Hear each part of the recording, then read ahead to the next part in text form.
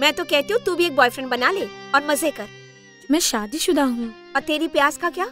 सारी जिंदगी तड़पती रह जाएगी